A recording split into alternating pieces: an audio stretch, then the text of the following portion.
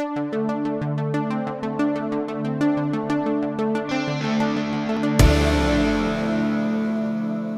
everybody, Jason here from AV Pro Edge, and today I have Casey from Josh AI. Casey, how you doing? I'm doing great. looking forward to the, the second part of this this uh, webinar series we have going on here. This is gonna be a fun Good. one today. Yeah, so guys, uh, in case you missed it, uh, Casey and I talked for for an, an, hour, or a little bit more than an hour, uh, last week or the week before on Josh AI and, and their voice uh, commands and all the great stuff that they're doing for automation. And unfortunately, we just kind of ran out of time to show everybody the, all the things we wanted to show. So this is sort of a follow-up or, or, a part two, if you will, to the to the original Josh uh, webinar that we did together. Uh, what we wanted to show for you guys today, uh, we want to get a little more technical uh, and show you guys some of the setup and some of the programming and whatnot. Uh, guys at Josh were kind enough to send me a micro, so I've got that here set up, ready to go. And just so you guys can see what's going on in the room, I'm going to switch my camera over. And what you guys will notice is that we're running a uh, LG TV. This is actually my bedroom system. So this is going to be a uh, LG TV with uh, Yamaha receiver, AV Pro matrix switch, and we also have a Sonos connecting here as well. So as we're going through the presentation today with Casey, uh, we'll be doing some kind of voice commands and sort of some some hands-on demos, if you will. So um, Casey, just to kind of uh, get everybody up to speed real quick, let's uh, let's give everybody, in case they maybe maybe missed part one, let's give everybody sort of an intro to Josh and, and what you guys are all about. Yeah, absolutely. And I think I heard Josh pipe up there too. Yeah, uh, did, did pipe up, yeah. yeah, he's ready to control some some audio and video, but we haven't put together yet. So soon enough here. Um, but but yeah, you know what, what we're doing with Josh. Uh, for those of of uh, you who maybe didn't catch the last webinar, uh, we are a, a, full automation system. Voice is our go-to interface. Uh, we also have a great app that uh, we'll be able to show off as well on on Jason's iPad here later on once we get everything configured on our end.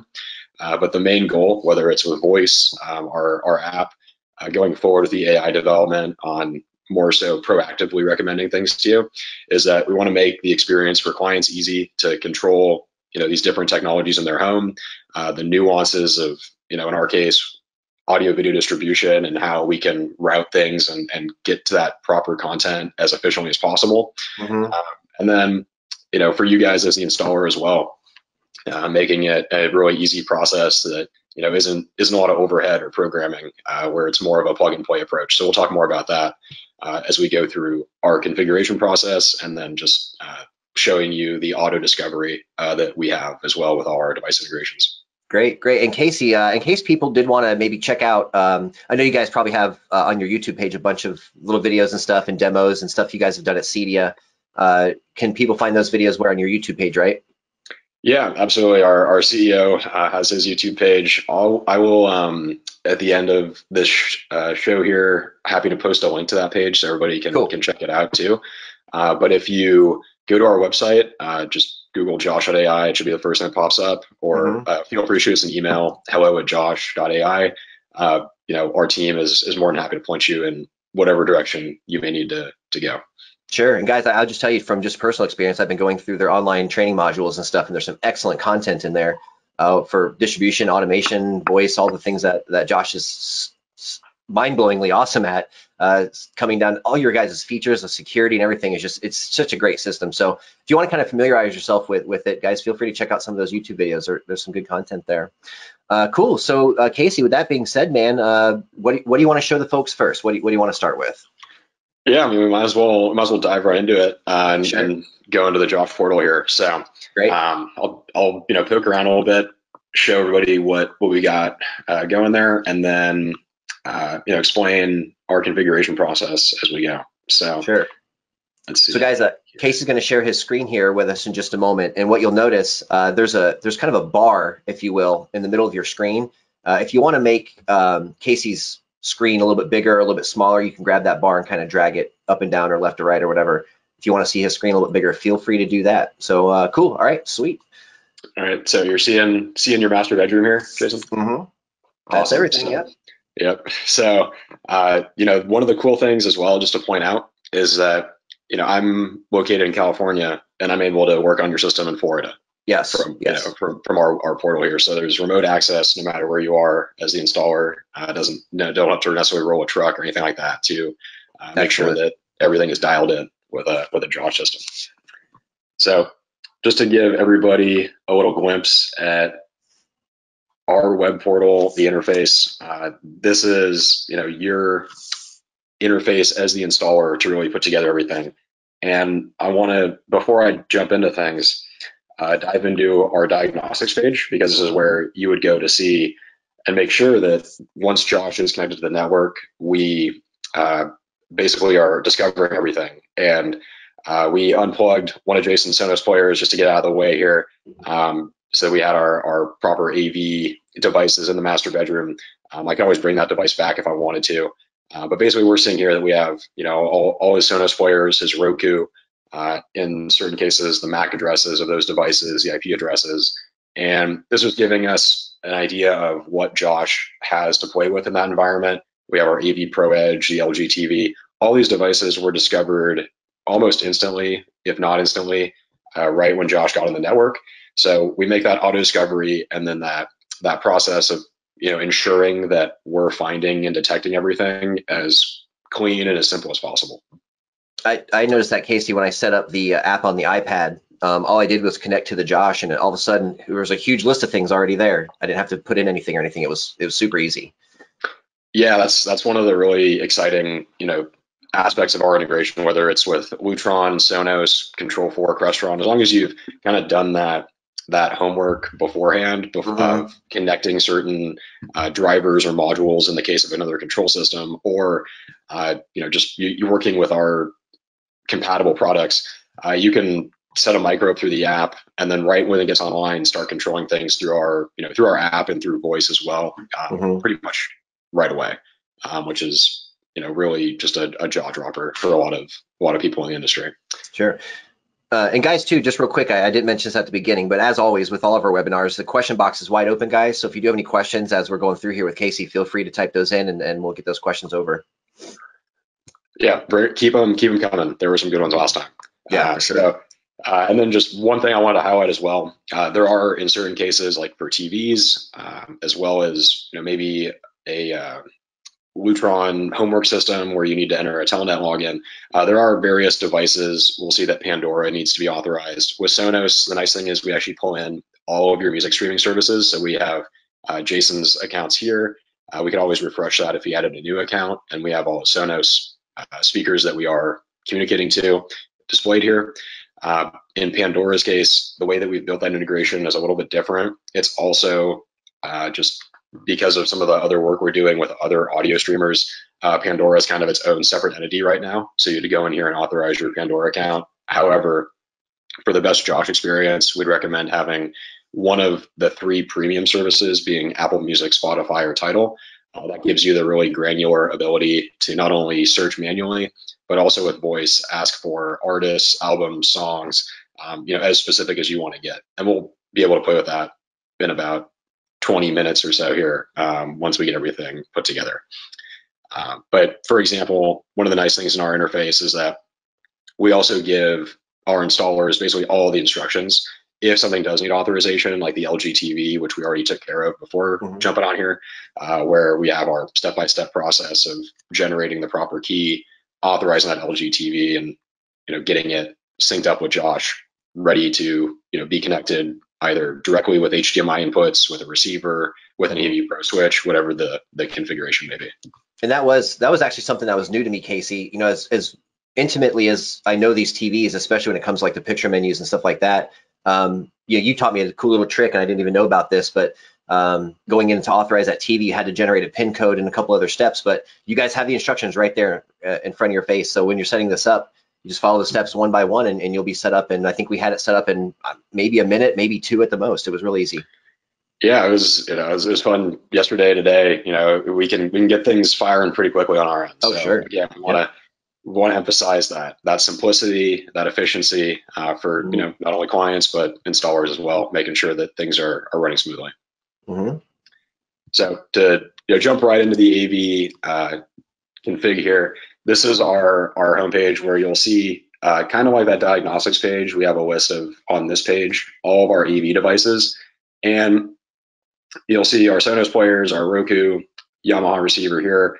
And you'll notice that we have these little action bubbles here saying, you know, hey, these devices that you know need need sources or need some sort of assignment, um, you know, I, I we need that information. So it's it's plug and play to a point with Josh, but there's still some, you know, we're only as smart as you dictate to us mm-hmm. as as the installer, you know, knowing the HDMI or AV inputs that that all these uh, devices are going through. So to get started, I want to assign my inputs to the uh, AV Pro, the 8x8 switch that, that Jason has. And we got our, our Roku is on input one, right, Jason? That is correct. All right. So go in here, toss on the Roku. It's that easy. It's connected now to input one. I could also add uh, a couple of nicknames to this if I wanted to. I don't know if the Roku would necessarily be a good fit, but if you're in a larger project where you have, you know, a his and hers cable box or sure. you know, maybe a his and hers Roku, you could, uh-huh. you know, name it Jason's Roku, for example, and then you know tell Josh when you're in that room, turn on Jason's Roku. TV turns on, input switches, and you're right there, and it, and it sets that that scene however however you want to do that. Excellent. So for fun, we'll call this Jason's Roku right now.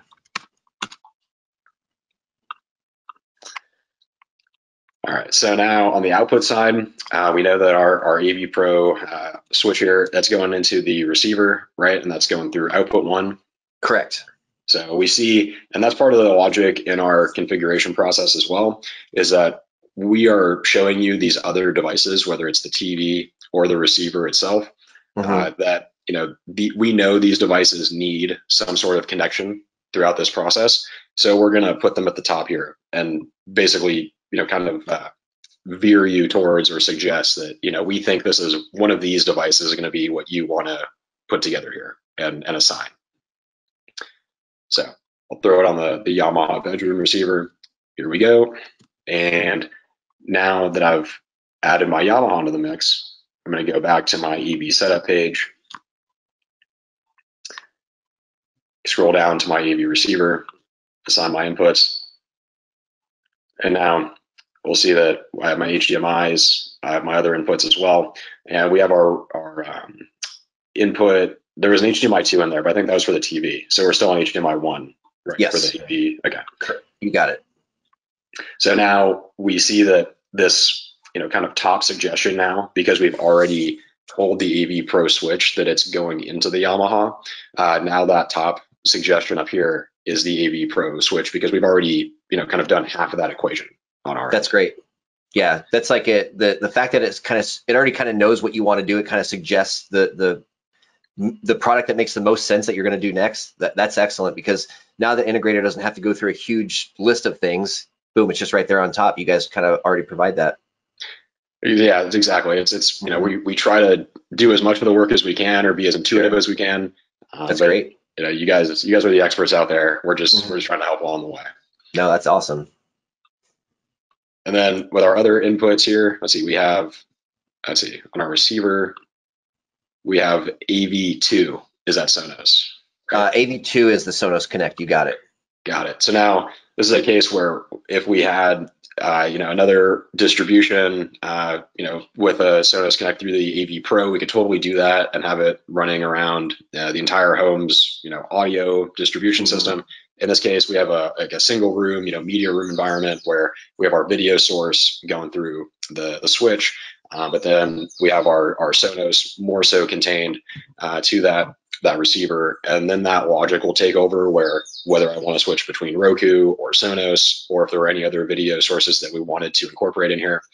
Um, Josh now knows that these any source that you would plug in here on the receiver um, is going to be available in that room. And the output in that room is going to be our LG TV on the mm-hmm. HDMI side. And then the main audio, this is a case where we don't have a, a, discovered speaker. For example, we, we discover each Sonos device on your network based off its IP address. Um, we have you know, similar integrations with you know, DSPs and amplifiers, and we, we automatically find these things. However, in this case where you have a what we like to call a dummy speaker, or as it's labeled here, a custom output.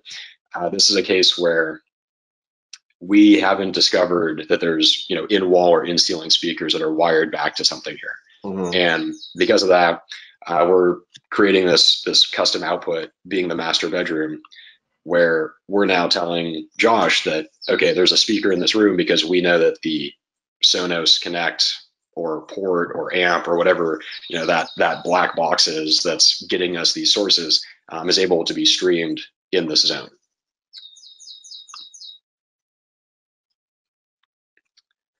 So that looks good to me so far. And now our last order of business is to take care of our LG TV. And you'll notice these little one notification icons. So if you're like me and, and super OCD about mm-hmm. red notification icons on apps and everything else that we have nowadays, um, this is uh, you know something that we have here. Just again signaling that you know the in this case the Yamaha receiver, the AV Pro switch. These are are at this point polished. They have inputs, they have outputs assigned. Everything is good to go. Um, but you know, kind of pinging you again, just making sure that we have all of our ducks in a row mm-hmm. um, as we put together these you know more complex AV systems. Sure. Uh, and then let's see, HDMI two was our receiver. Yep, we're HDMI two on the on the TV. You got it. Cool. And then for the audio output of the TV, uh, Jason, we didn't. I don't think we actually covered this earlier, but uh, do you have like a speaker bar or something that's going through that receiver or? No d- d- uh, that yamaha receiver is just running a traditional 5.1 setup. Okay. So we can choose to in, in, fact i think we we did make that sonos connect fixed. So we'll have the receiver kind of controlling the variable volume. Sure. Yeah. So but this is a case where again if you have you know no matter what your your audio configuration is in that room uh, you know we can basically have the receiver now driving that um, that volume control as well. Great. I'm just going to confirm that too while you're moving on to the next thing.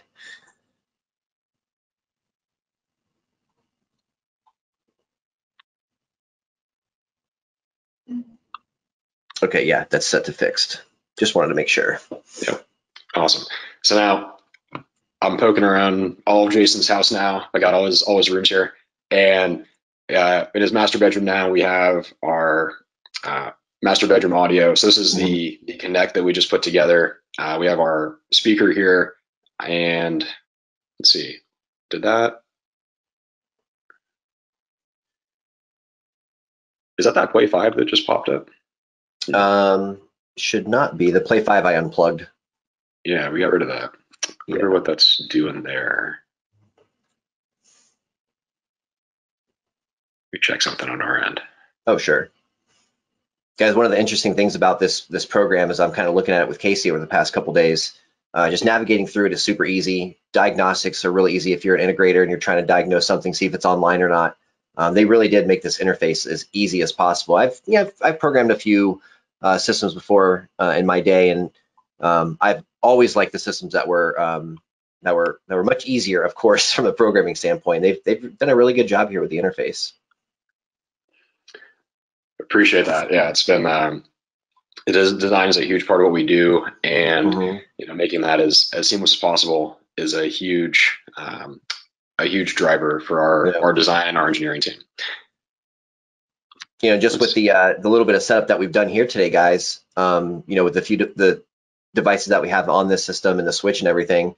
Um, with Casey even explaining what he was doing, we still had it set up in like 15 minutes. So uh, hopefully that kind of lands the point home with integrators out there who are watching uh, how easy the system is to set up.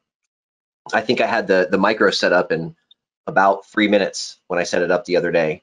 Uh, it was very easy. You know, you you plug it in, it fires up. You open up the app on your iPad, and it kind of just walks you right through it. Has you connect to the um, to the Wi-Fi, and then boom, you're up and running. And it was again about about a minute or two worth of work.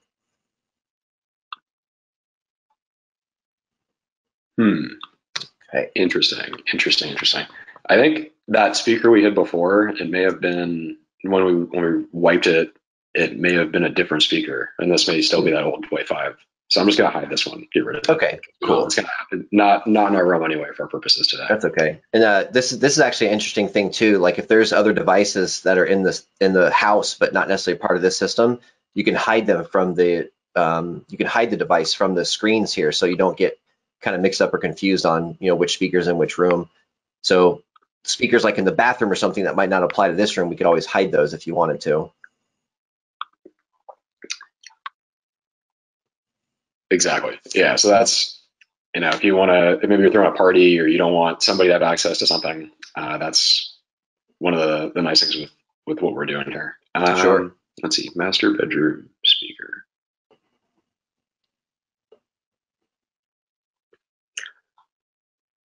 This is actually a nice page too, just on its own, because you have the MAC address and IP address of everything that's on the network. So if you're doing some network management, you can probably find everything you need to know about those uh, all those devices right here on this one page. I know a lot of guys will keep like a, a spreadsheet or something, but a lot of good information here.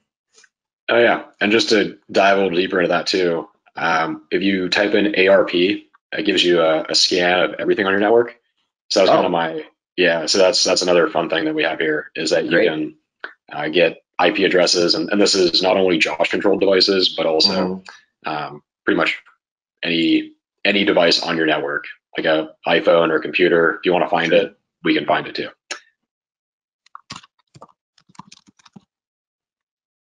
And in this case, I want to find your master bedroom devices because this connect.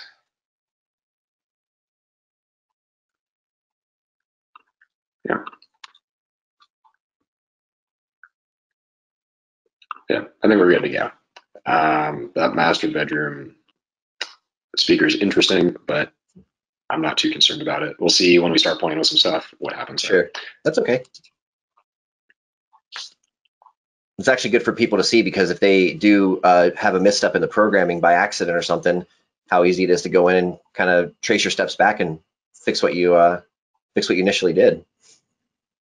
Yeah, and it's it's funny. Right before we were on this call, it was one to one, and it was, of course, uh, That's how that's how it always works, man. that's how it works. So, yeah, I'm interested to see what the case is here. The Yeah. speaker. Hmm.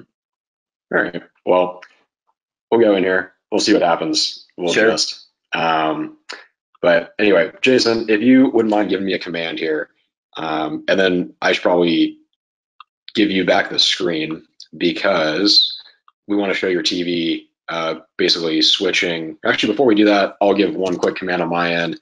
Sure. Um, I, I we were talking before this. I know you're a, a Stranger Things fan or Oh, yeah. American Horror Story. What, what would you like Sure. to watch right now? What's what's Um, let's just do Stranger Things. Let's let's keep it uh keep it pretty universal. I know I don't know anybody who doesn't like that show. All right, so perfect. So in this case, um, we have one TV, so we don't have to specify even when typing in commands uh, or giving voice commands to any micro in the home where to do that because we know by default there's one TV option to display this content. Um, but you'll see in this bottom bar here, this is a great way for us to test commands in Josh. And when I press enter here, this is where we should now see uh, Jason can confirm, uh, but then I'll also give him his screen back uh, that Stranger Things is now popping up on his Roku here. yeah. TV. So guys, it, what, what you hopefully saw there, I switched cameras so you could see my TV, and sure enough, there's Stranger Things playing from the Roku. So I, I just stopped sharing my screen, Jason. So I think if you're able to show your camera, Yeah, absolutely. So let me switch back over here to my camera. And boom. Okay, cool. all right. And then I don't know if anybody saw saw the TV as well, um, but yeah, we're on the the Roku menu. But now the experience should be something like um, I don't want to wake up your Josh micro over there, Jason. So I'm not going to Yeah. give it a full command.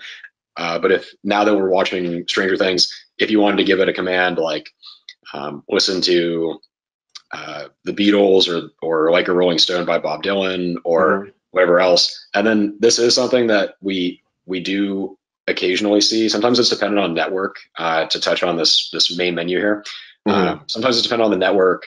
Uh, it doesn't really matter what Roku model it is. Um, but if you if you give a command to Josh, so if you say the wake word and then um, press play, it'll bypass this menu and you can it'll just start watching this episode as if you're Oh, okay. pressing that button verbally. Cool. How about some uh, how about some Bob Marley? You a Bob Marley fan? Yeah, yeah, that's Cool. yeah, that's chill. Okay. And then uh then the uh the command, just so everybody knows, is okay, Josh, right? Correct. Yeah. So that's the that's one of our wake words. That's the wake word that's out of the box. Um, if you just look it up, it's probably you know listening now at this point. Okay, Josh. Play Bob Marley. Now playing Bob Marley. Cool. And that was a little feedback that I got from the little Josh micro itself. So I was able to hear that from the micro. And then I just heard something. Of course, it's probably gonna be one of the quieter songs. and I don't know if you guys can hear this or not, but I'm gonna try to crank up the volume. And you should actually be able to go to the micro. Is the micro dial illuminating a purple LED? Um, right now, it's like multicolored. Okay, so it's still listening to you at this point, I believe, or it might still be. I can't see, so it's Oh, here, let me switch cameras back so you can see my. Um. So I've got oh, yeah. right So it's here. yeah. Now just now just waiting kind of for the next command.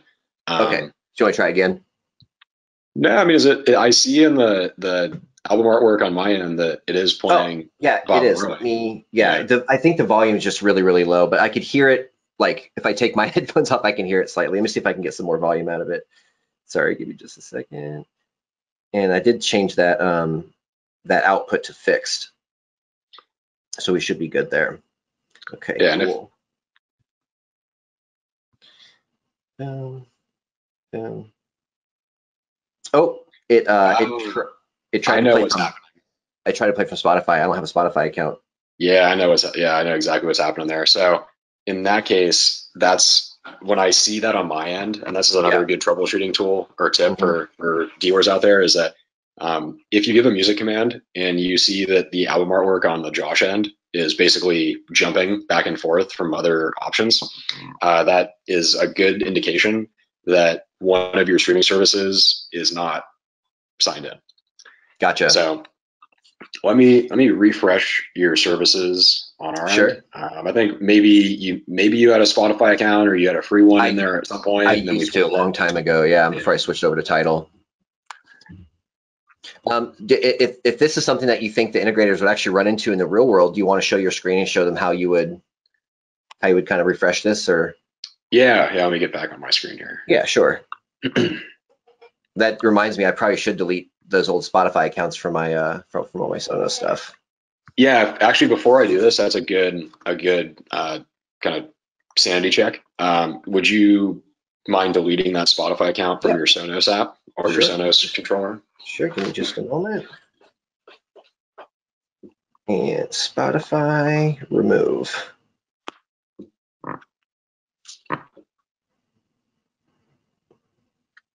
Okay, cool. No more Spotify.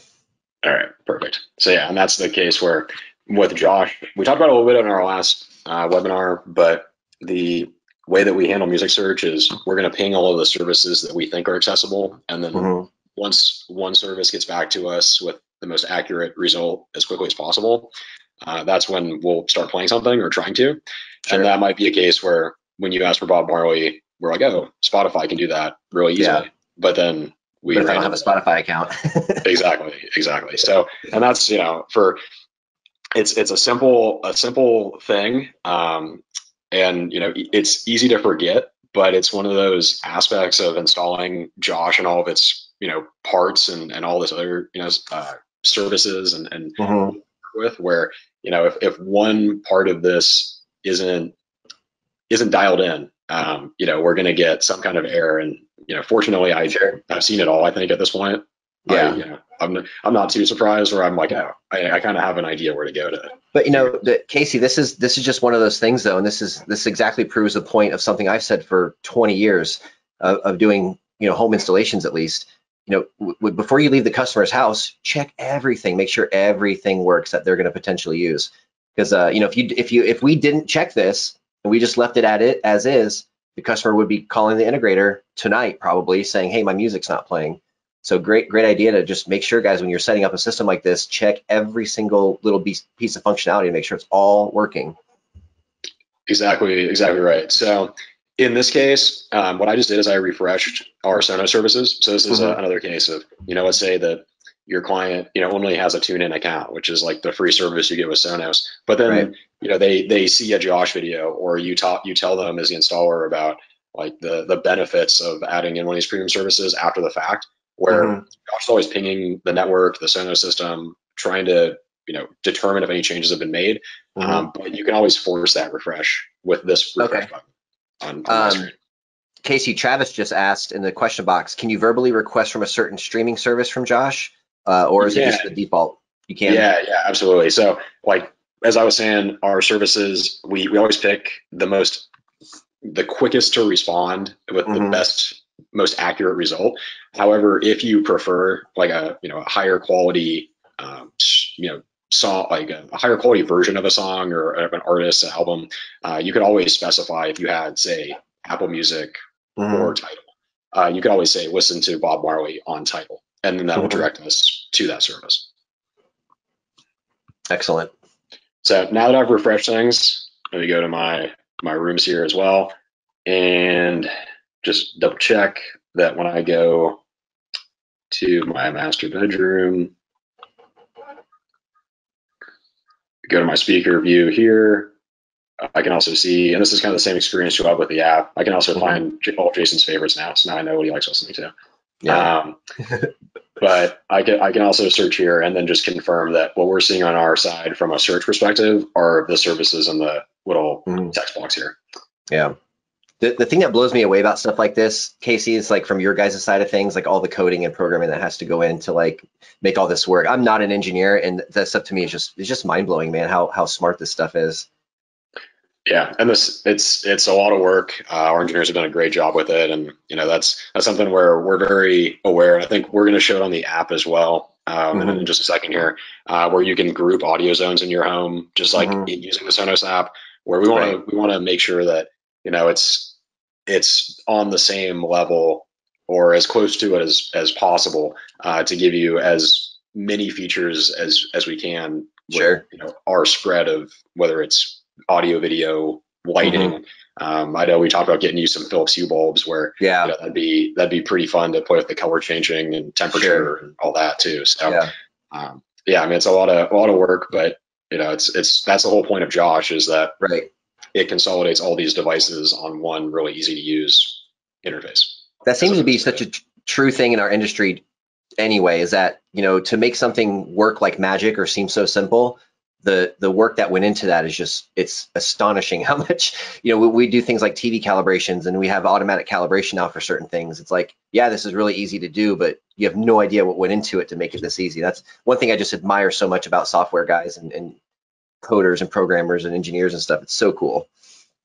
Yeah, it's if we do our jobs right, uh, it seems like magic. But yeah, right, exactly, exactly. So, um, and then yeah, just to you can see this on the Josh app as well. Um, but something mm-hmm. else I wanted to show here, um, sorry, is just on the TV side. If we had multiple inputs, sorry, uh, on the view section here, uh, this is where we would also see more inputs listed here. So you could always, you know, pick up your your phone or your iPad and mm-hmm. manually switch between sources. Uh, there's a remote UI kind of similar to an Apple TV remote app where mm-hmm. you can scroll up and down, select, uh, you know, just volume, things of that nature.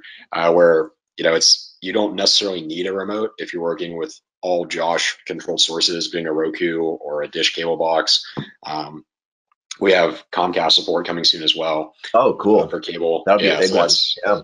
Yeah, so that's that's very exciting. Uh, that's you know I can't give you an ETA, but that's something that our team is very excited about. Yeah, no, that's cool. That'll be huge. Yeah, so you know whenever they roll that firmware update. But anyway, so that's that's the thing is is again just that feature parity, that access, is giving you as much power and control as we can uh, with all of our our services and, and devices. Excellent. So, I do have the iPad here. If you want to show the app at any point, just let me know. Yeah, yeah. So I'm gonna I'm gonna hand it back over to you. Uh, let me unshare my screen, and I think it'd be awesome if. yeah. So I think I think we're on the the audio input now on the receiver, but it, I think let's let's do another kind of fun voice switching you know interaction with you there. Sure. Uh, so I know we were talking about Christopher Nolan, Hans Zimmer. Uh, mm-hmm. you know, there's Inception, I think, it's on Netflix. Yeah. Uh, feel free to give Josh another like a video command. And this is also something I think we talked about last time, but Josh is kind of as smart as the verbiage and the phrasing that you use. Yeah, So you did. We give- did talk, talk a lot about that. yeah. So to give to give you know the audience an example of that too is when I give music commands, I always use listen, and I always give watch when I give video commands because that, Mhm. that immediately kind of divides that fork in the road for us to find you that right content versus more ambiguous verbs like play or turn on. Yeah. Um, both of those work. I just is a little more effort for Josh to try to find you what actually is the right content in that case. and, So and God forbid a band has the same name as a movie or something. Oh yeah, when I when I when I do trainings, my ultimate example of this is I tell dealers like, if I say turn on Chicago, what what are you gonna oh turn yeah. on? What the heck does that mean? Yeah, the band or the movie or the soundtrack Yeah. to the movie, Sure. any show. Yeah, like there's there's a million results for that. So That's cool. um, yeah, feel free to give it a, another Netflix or a movie command or something. Watch whatever. Okay, Josh. Watch Inception. Now watching Inception.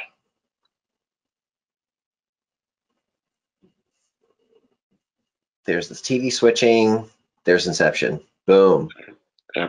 So, and again, that, yeah, and usually we see that menu, it will fade out and we'll start, you know, playing whatever the uh, show or movie is. Uh, But if Mhm. it doesn't start fading out after like five seconds or so, then it's really easy. Just give it a follow up Josh command Yeah. saying press play, bypasses the menu, easy.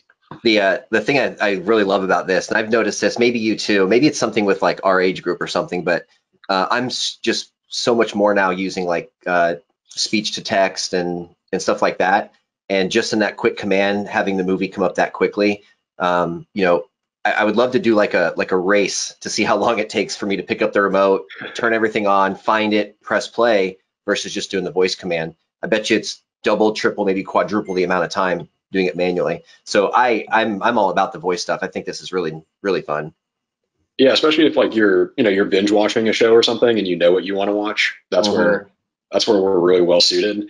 Um, Yeah. You know, a lot of times and like, you know, for voice, what the reason why we built out the the app in our end and, you know, we're always more than happy to incorporate a, you know, a remote as well from another control system or, you know, a, another provider is we're, we realize voice isn't the end all be all. There's always going to be a, you know, a, a tactile surfing that people don't know what they want to watch. And, you know, Sure. you know that's part of the experience so um, Yeah. you know, with that voice is a great shortcut if you know what you want to watch and and it's you know part of our supported services then that's Mhm. you know a, a really cool wow factor as part of the experience Yeah. um, but you know we the manual ui uh, is never going to go away because people don't always know what they want Sure, sure. You know, it, it's funny too because you know we are barely, I mean, just barely scratching the surface of what the system can do. Uh, I just got a little AV system here uh, with a with a matrix switch. Um, some of the bigger systems that you guys have been involved with before, uh, I mean, I could just imagine, you know, coming home from work or school or something, and you know, walking up to my front door, giving a couple voice commands, taking off my backpack, my jacket and stuff, giving another voice command, and you know, by the time I'm in the house and settled, my music's already playing, my lights are already the way I want them to be. Um, you know, I, and I just haven't at my own house here, just haven't gotten that crazy about it yet. But uh, um, that was the thing about doing the Philips bulbs. Is I wanted to get a pair yesterday, and they were they were sold out, unfortunately, so I wasn't able to do them. But uh, what are some of the bigger um, what are some of the more common systems that you guys are involved with that are on the bigger scale of things? Are they bigger homes with tons of lights and tons of zones, or what? You, what are you guys seeing so far? oh yeah i've had it's it's been pretty fun going around the country. Um, you know, I've been training dealers, visiting uh, some of our bigger projects as well to make sure that Mhm. things are um, as as tightened up and you know give our our dealers that that hand holding as well because you know we understand this is a new technology and there's you know there's a lot of questions around that. So our, our Mhm. tech support team is super helpful. Uh, Yeah. But also, you know, when we're in the neighborhood, we definitely love to check in with, you know, our, our dealers and make sure that their clients are having a great Oh, experience. that's great. Um, so I've had the you know the pleasure of, of going to a few sites, and um, you know we've we've been in all sorts of homes. Um, I'd say one of the craziest that we were in since I've been with Josh, um, which has been a while, uh, is back in the Mac Mini days, and and now since then we've moved some micros in there as well. Uh, we were put into a, a really big spec home in LA, like in the nine figure mark. Um, wow. and you know, that was a crazy Crestron system, Lutron. I think there were over like 100 or 200 like just Lutron keypads, which gives you an idea of how many lighting loads and shades and everything else was in there. Oh man. Um, so there's no there's no shortage of devices or or like limitation there with us. Um, it just is you know the, the system is very scalable, and the same goes for audio video distribution where you know is whether it's an 8 by 8 or 16 by 16 or you know Right. however whatever you want to throw at us um, Sure. we can we can facilitate that Yeah. um, and you know whether it's with Josh and and you know an AV Pro uh, environment or if it's Josh with another control system in the mix and we're you know using the logic that's dictated by those systems uh, Sure. on our end as well. Good, good. That's excellent. Uh, Casey, I've got uh, we've got maybe uh, about 15 or 20 minutes left to fill up the hour. Um, I didn't know if there was any other questions anybody had. I'll take a quick look at the question box, and uh, I don't see any new questions since Travis's last one, guys. So if you guys uh, have any questions, feel free to get those get those kind of rolling in. Uh, while we're at it, just to give you a sort of a visual on the app itself. This is on an iPad. Uh, gives you a nice little welcome message there. Good afternoon. It knows where I'm at, of course, telling me what the weather is like, which uh, you know it's very nice in Florida right now. So thank you for uh, thank you for being nice weather uh, during during this time at least. Uh, but yeah, it's a really sleek app. And again, I don't have a lot going on here just because I have just a, such a small system. But if I wanted to go through any of the submenus here, I can see exactly uh, exactly what's going on with my whole system and with this particular room. And it doesn't have to be necessarily an iPad, guys. You can of course use your iPhone as well, right? Yeah, iOS is, is fully supported now. That's our most up to date platform. Uh, Android is on its way. Uh, we're Right. very we're very uh, optimistic that Android support will be on par with iOS later this year. Sure. Um, just it seems like most clients are iOS people, so that was Sure. prioritized. Uh, Yeah. But uh, yeah, be cool. Like since you, there's not like lighting or shades there yet, Mhm. the Philips Hue um, shortage. not yet. That would that and toilet paper. Everybody was grabbing that. uh, yeah, exactly. Yeah. during quarantine. But uh, one of the really cool things with Josh as well is that you can give multiple commands at once to really kind of set the mood. Uh, so, Mhm. for example, like you know, dim the lights and listen to soft jazz or something. Yeah. Um, you know, those those types of commands are really powerful because you're giving more than one at a time. So, And didn't Uh, you guys didn't you guys patent that being able to do multiple commands?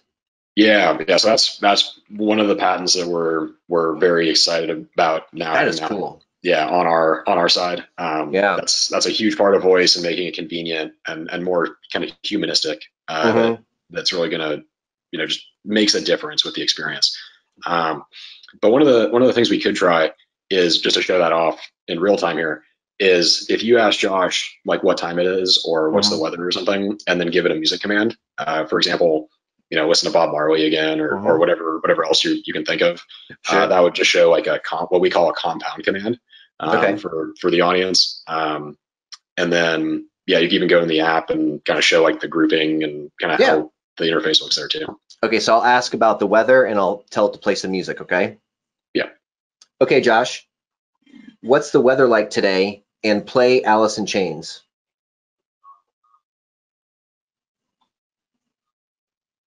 In St.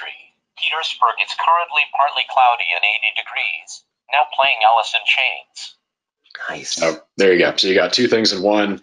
Um, you know, and and I can see my end is changing uh, with the album artwork to play some Alice in Chains. Mhm. I don't know if you're hearing it on your end, but you should see in the Josh app and the Sonos app and everywhere that that content is being found now through Tidal.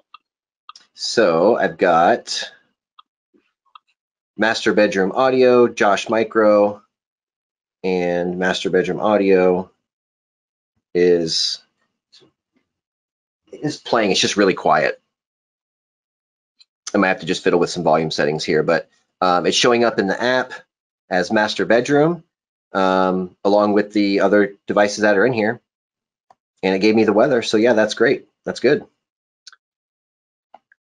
One thing I wanted to point out too, this is just because I'm just a nerd about this, uh, especially with a big giant screen like this. I'm all about the dark mode, so thank you for putting that in there.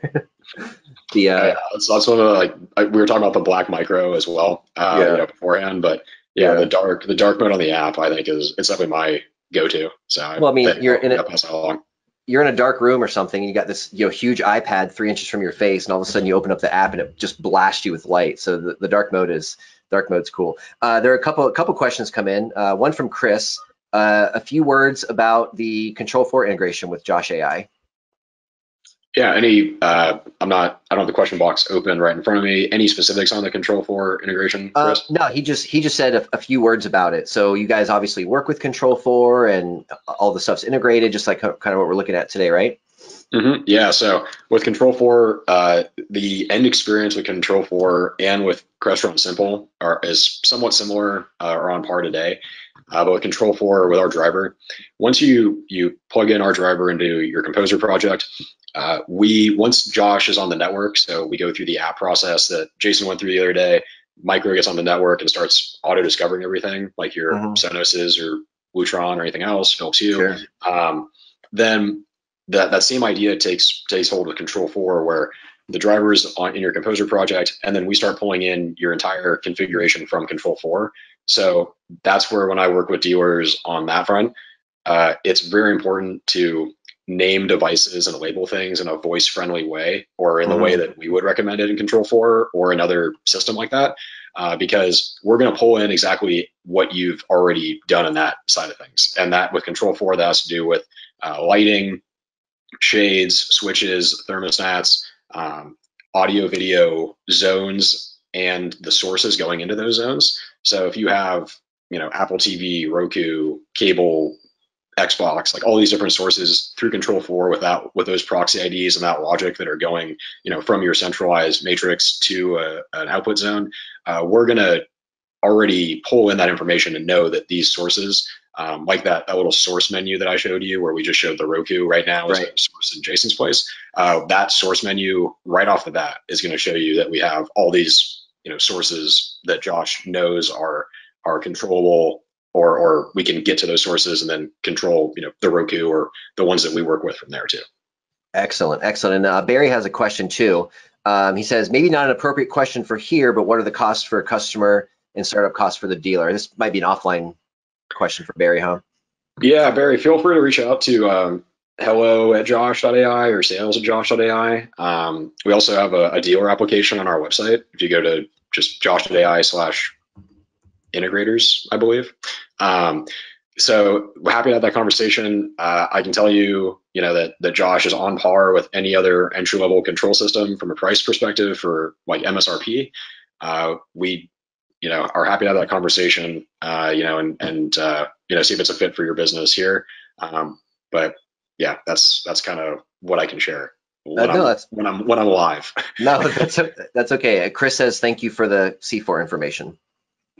Yeah, of course, Chris. If um, if, if any if anybody needs any information on the Control Four driver, um, again, hello at Josh, Casey C S E Y at Josh.ai. Um, you know, feel free to ping me. I'm happy to to get you that information. You know, the the technical resources around that stuff. Excellent, excellent. Well, Casey, uh, we're kind of kind of come up on our hour here. Uh, we got maybe 10 or so minutes left. If you wanted to uh, show anybody anything else, any other tricks or anything else in the um, setup that you wanted to show anybody, um, yeah, we'll just kind of uh, kind of freestyle it here for the last few minutes. Yeah, let's let's do a fun let's do a scene because I think that Sure. that'd be fun. Yeah. So let me let me share my screen here, and this is where this is where people get to have some more fun with Josh. Um, where oops, that's not okay. That's not me. Um, where's my screen share here? I uh, may have to do this real quick. Oh no, you still you still should have the That's okay. presenter. There Yep, you go. so I'm- we're back on my screen. Yep, you got it. Alrighty. So with scenes here, this is my scenes page, and this is you know I'm gonna jump in and get a little advanced. I'm gonna kind of nerd out, so bear with me. No, Um, go for it. This is the fun stuff. yeah, maybe we have an entertain scene, or I don't know what what what scene do you want to create, Jason? Um, Or- I, I'll, I'll do one that I normally do when I have friends over. I when I have friends over, I want the uh, big stereo playing, and I also want all of the Sonoses in the other rooms, bathrooms, and stuff playing as well. So sort of like maybe a party mode or something like that. all right, This is where the lights would really come in handy too, but they did not have the ones I wanted in stock, unfortunately. yeah. If we had if we had some lights and some shades, we'd be able to play with all that here. Yeah, Um, yeah. Let's see.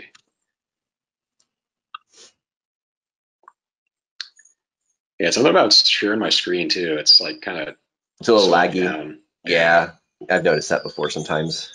All right. So we have our entertain scene, and you'll notice there's actually already an image here. So kind of based off of what your scene name is, we have our own photos here that we've pre-curated. Oh, cool. So uh, if you had like a good morning scene, you may see something like the sun rising with the dog, or, or you know, basically like whatever the scene name is, there'll be a photo that correlates. You of course can always upload your own from your desktop or iPhoto library, or take one Cool. from the app and upload it here too.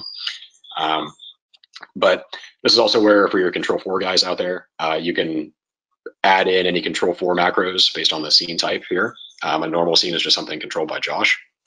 And I'm going to bypass the room assignment, user access. Those are more kind of privacy related. Right now, the room assignment more has to do with um, seeing this scene as its own tile, just like a TV or a music player or another device tile in that room's um, layout in, in the app interface. But the uh, what I would do here with music, and you'll notice we're actually doing a whole scenes kind of revamp, um, and that's going to be rolling out later this year as well. So we're very excited with the the uh, updates that are coming there. Stay tuned for more in a few months. But uh, with music here, this is where I could select, you know, individual speakers of yours, and I could play, you know, music in certain rooms. Or if you just want to play something everywhere, it's that easy just to select all music players, hmm play music, resume, and now I can either select an artist, album, or song, or this is where with our Sonos favorites access, this is how we access a favorite is through a Josh scene. So I could always, you know, play one of your favorites here if you wanted to, Sure. to do that. Sure. What do you What do you want? Uh, just do the Alice in Chains. All right, so Alice in Chains, we got that. We'll bump it up a bit. And this is where in the custom commands text box, again, this is where kind of that ease of use of programming comes into play, where I could select, let's say I had lighting and thermostats and shades and, and other devices here as well. Um, but I don't necessarily need to go and select all these tiles. I could just type in what I want Josh to do here as well. Mhm. So I could also say, you know, play Alice in Chains everywhere. And when I give Josh a command like everywhere, that's signaling to it to hit every one of those devices throughout the home. So the same thing goes based off of our room configuration, like listen to music on the first floor or in the backyard. And we know what rooms and what zones are Yeah, under those that's cool. particular areas. So I could accomplish the same thing as what this tile's doing by writing it in here. However, I don't want to I don't want to replicate or give it some sort of like contrasting uh, command because that would Mhm. obviously be confusing for the system. So I want to cancel that. Um, but this is also where in the commands text box you could you know just type in what you want as an end user. Like let's say that you know mom and dad are going out uh, for a, a, dinner or something, and they're leaving the nanny at home with the kids, and they don't want to have to bother you as the installer to you know create a good night for the nanny scene that leaves you know a certain light on or something but turns everything else off in the house Sure. and this is where they could go in the app uh, the web portal is more of a dealer tool but we do have some clients who are more technically savvy who who do use it Mhm. um, but they can just go in the app type in what they want to have is you know turn off all the inside lights stop you know turn off all the tvs and leave the porch light on or you know whatever whatever they want to throw in there. And that's you know essentially creating that that scene on the fly without having to um, you know without a, a installer having to remote in or you know program additional macros in that case I'm glad you mentioned that because I was actually that's actually a great question. Is you know um, how much of this does the end user have control over? Can they set up certain things themselves and maybe play with some of the scenes? I'm sure they don't have full access, but do they have a little bit at least?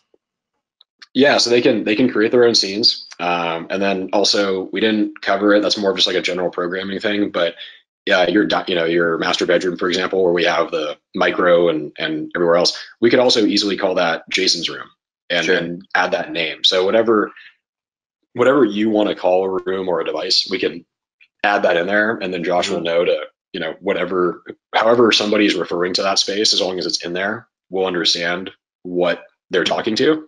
Mhm. Um, and that's that's a great way to work around you know multiple users in a home, as well as you know as we as we go around the country here, different accents and how people are are misheard. Because Yeah. we have we have some clients in Florida actually who are have a little thicker Southern accent than you, Oh sure, And- yeah, oh yeah, and they oftentimes say foyer, um, but it often gets mistranslated in the speech. Oh, sure. for your. Yeah. So, yeah. uh, but yeah, so that's that's all. That's awesome. Yeah, so those those types of nicknaming or aliasing changes, those are all capable through the app. Um, Mhm. that also circles back to user permissions and roles, where Right. depending on what role you as the installer set up with your client and how Mhm. hands-on they want to be, um, you know, that kind of dictates what they can and can't do. Yeah. Um, the other the other thing I just love so much about this whole program in general, Casey, is just the kind of the safety and the security of all of it. You guys take that so seriously uh, with you know your data and saving all your voice commands, and um, you guys take that to to such a new level of of security. I'm very very admirable of that. Yeah, I mean, with with uh, you know the other kind of mass market options out there, and, and with microphones in their homes, um, it's you know you have the biggest search engine, the biggest biggest marketplace in the world with their assistance, and Mhm. there's you know a lot of valid concerns in this industry with Sure. you know what what they are listening to and what data they're collecting and how they're using that, and uh, you know that's that's a case where we're a home automation system. The value in our system is you know controlling your home and making that experience as great as it can be and you know that's what we're concerned about we're not going to sell Mhm. data to third parties we give you know that full transparency in our chat history so Mhm. that's actually something i don't want to i don't want to get too i want to get the scene uh, created as well before we we sign off here but just to show you the chat history really quickly Yeah, go uh, for it. this, this is a case where um, we can see, you know, your what's the weather like today in Alice in Chains, and this is a, the number one troubleshooting uh, tool for integrators, where we see, um, and for our support team, where you know what commands you've given to Josh. In this case, this is actually me typing things in, and I can kind of see those in blue here. Right. Um, but this is where you know maybe you said turn on, but it was actually misheard as like Turner or yeah. turn it or something and there was like a slight lost in translation you know Mhm. part of that command and in that case that's where you know when a client also sees that and, and you can see the chat history in the josh app um, you know that that's where that transparency that ability to be part of that experience it tells them you know hey like i understand why this didn't work now you know maybe Yeah. i need to enunciate a little better Right. or you know josh doesn't have a it was cinco de mayo yesterday there's no there's no drunk mode yet so you know you very yeah I've, I've i've learned to be very clear with what i say to josh Yeah, uh, that's that's awesome too, man. Because you know, there's a lot of times, like I said before, I've been using speech to text a lot, and like certain things I say, it always messes up. And I would love to like, this is so cool because I can go back and look at the history now and be like, oh, no wonder it never plays that band correctly because I'm always saying it wrong or something like that. So that's I like that it has that history. That's really cool. Yeah, and we talked about that last time I think too. But that's that's another challenge with all these artists is like if I ask to listen to Adele, is it A D E L E or A space D E L L? And that's a case where like we've seen that happen, and now we've made, created those patches and that, and that's where our natural language processing uh, engineers and and our team has essentially cr- it continued creating that intuitiveness um, around the Josh experience based off of you know how we are hearing things and Yeah. working working within the limitations of that technology. Um, so to get back to my scene here, uh, this is the case where you'll notice that we don't have um, video players here. hmm Uh, part of that is is how we've kind of built out our back end of video distribution.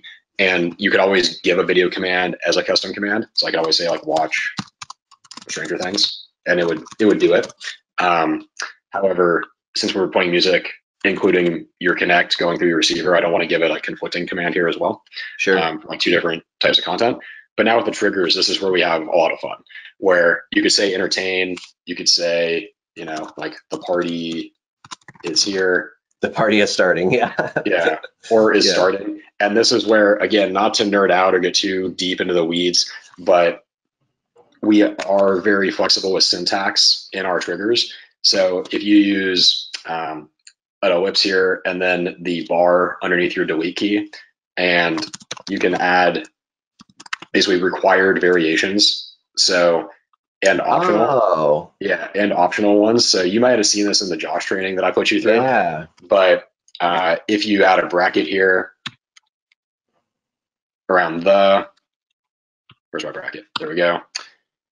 So now I could either say party is here, the party is starting.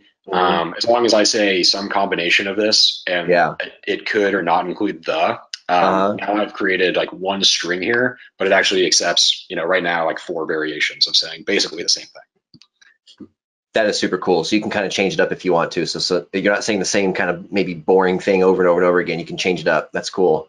That's it. Exactly. Those, those are the kind of little things that that I find that end users love. When you can customize things. Before you showed where you can pick different pictures for your uh, for your interface, and you can even upload your own custom. This is the kind of stuff that like if I when I showed like my dad something, and I'm like, hey dad, check this out. I pull out the iPad, I say something, music starts playing, and then there's a custom picture on there of the iPad of like maybe me and the family or you know me and him when we were a kid or when I was a kid or something like that. Those little touches are what people really love, and you guys really have that covered. It seems like. Oh yeah, yeah. It's um, you know, this is the custom channel. So you know, as as far as you can personalize it or want to, we want to Right. enable that. Yeah. And that's you know part of the fun of the custom response here, where you of course could do a default response, which is just like you know sure thing, you know entertain or like now running your entertain scene or whatever. Right. But when you do a custom response, um, there's no adult filter here. so whatever you type in as a response, like yeah, Josh will say that back to you. And that's I've funny. I've seen it all. So you know, I'll, don't be I'll play with that after after we get uh, off the webinar today. I'll, I'll I'll fiddle with that a little bit. Yeah. that sounds fun. So, so maybe with the custom response here, we'll just say, uh, you know, uh, I don't know, hide, hide your kids, hide your wife, because Jason. um, so, but that's that's where if you add more here, Josh would cycle through uh, Sure. responses and uh, you know basically run through. So Yeah. now, Jason, uh, I can change this custom response if you don't if you don't want to use that, but um, if you'd be so kind as to give our scene a try, where you can say either entertain or Mhm. one, you know, the party is here or party is starting, um, to show off that our scene that we just threw together here is is firing. okay, Josh. The party is starting. Hide your kids, hide your wife. yes. So now we should be seeing uh, Alice in Chains uh, as well. So if you go to devices on the Josh side of things, Yep. we should see all of our music players now um, starting Yeah. to play Good. Alice in Chains. Yep. And I've got. I can hear it. It's it's the volume's low, but it's definitely playing. That's excellent. Well, that's great. Um, guys, I don't see any other questions in the question box. If you have any, we're kind of at our time limit right now, but if you have any last minute questions, uh, go ahead and pop those in. Uh, and while I'm waiting for those, uh, Casey, any parting words? Thank you so much for your time today. This is a this is a excellent partnership, and I'm really excited to see some of the installs that happen with with with you guys and, and our switches and stuff. This is really cool. So thank you, thank you a bunch. Yeah, I you know again this we had our first webinar that went super well, and and now you know to, to have this follow up one, hopefully hopefully you found it you know more fun from the partnership side of things to actually get Oh, to play with. Josh, you get your hands yeah, on it. yeah, yeah, Um, and and uh, I hope the audience, uh, you know, learned a thing or two today. You know, Definitely. got their got their feet wet. Um, but as you said, we're just scratching the surface here. Um, there's Yeah, there's so much more to talk about, so much more to, Mhm. to program that. Um, you know, I as as you can tell, I'm trying not to jump around, but it's so hard not. Yeah, to, it's- I know, I- so much to show. I know off. what you mean. Uh, maybe maybe next time we meet up, um, I'll have a couple lights and maybe a couple more things. We could we could dig a little deeper.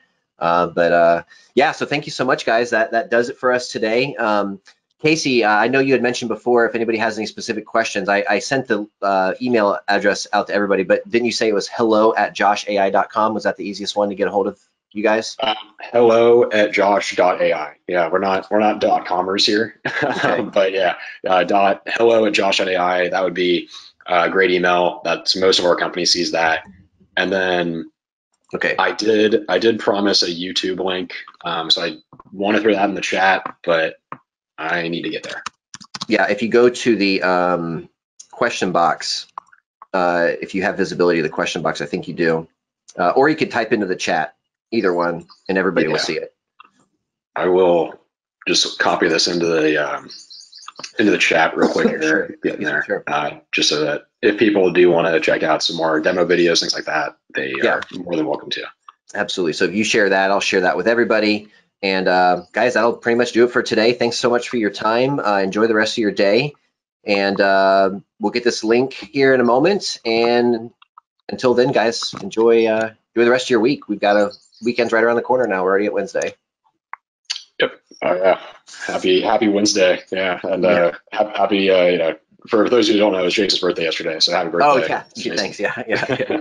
okay, cool. I'm gonna send this link out to everybody, and boom, guys, feel free to click on that link to see some more demos on Josh AI. Casey, again, thank you so much for your time. Thank you guys for attending the webinar today, and we'll see you next time. Bye, Casey. Yep. Thanks, thanks again, Jason. Sure thing. Talk soon. Bye. See ya.